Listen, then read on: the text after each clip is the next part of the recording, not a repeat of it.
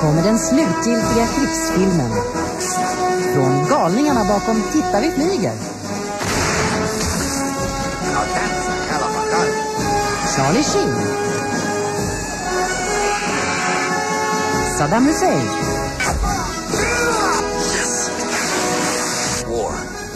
fantastic. Hot Shots 2, söndag klockan 9.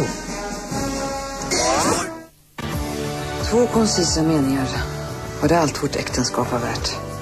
Med den här kalkylen så kommer vi gå med förlust på det här jobbet. Ska du vara kvar på firman eller inte?